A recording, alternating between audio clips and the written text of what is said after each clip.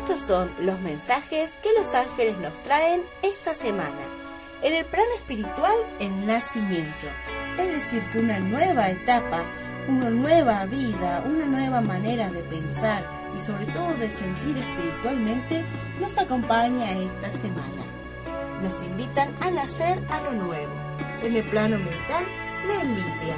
No nos dejemos sentir menos que otras personas en el plano material las decisiones para que llevemos a la acción todo eso que estuvimos pensando.